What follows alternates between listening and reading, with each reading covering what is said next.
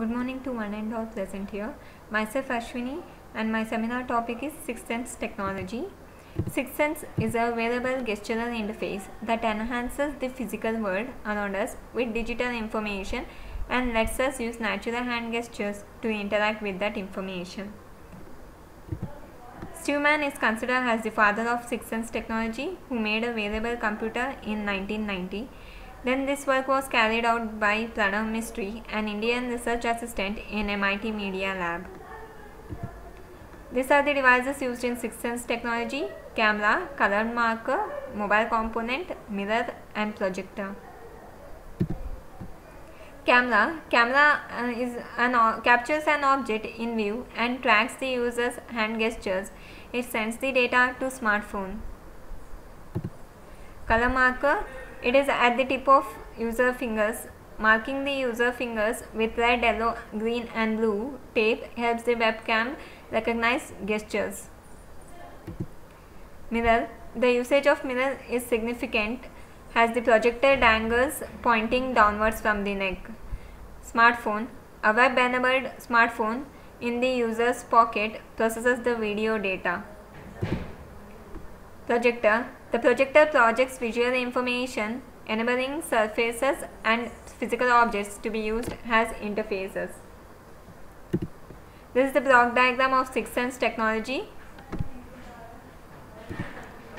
These are the applications viewing map, taking pictures, drawing application, making calls, interacting with physical objects, and getting information. Draw, make a call. We can use the Sixth Sense to project a keyboard on your hand. Call a map.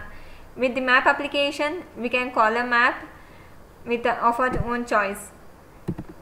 Check the time. You can draw a circle on your wrist that which shows the correct time. Create multimedia reading experiences. Sixth Sense can be programmed to project narrated videos onto newspaper articles you're reading. Get flight updates. The system will recognize your boarding pass and let you know whether your flight is on time and if the gate has changed. Feeding information on people. The system will project relevant information about a person such as what they do, where they work and so on.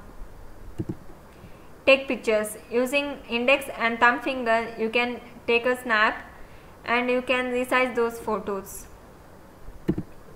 Drawing application. Using fingertip we can draw the application and we can zoom in and zoom out using hand movements. Get product information. Sixth Sense uses image recognition or marker technology to recognize products we pick up, then feeds us information on those products. Get book information. The system can project Amazon ratings on that book as well as reviews and other relevant information.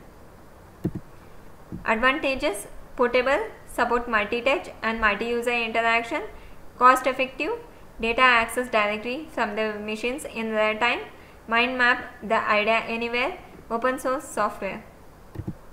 Disadvantages Hardware limitations of the device that we currently carry around with us. Example Phones will not allow the external camera feed to be manipulated in real time and post processing can occur, however. Conclusion Sixth Sense recognizes the object around us, displaying information automatically and letting us to access in it, it in anywhere we need.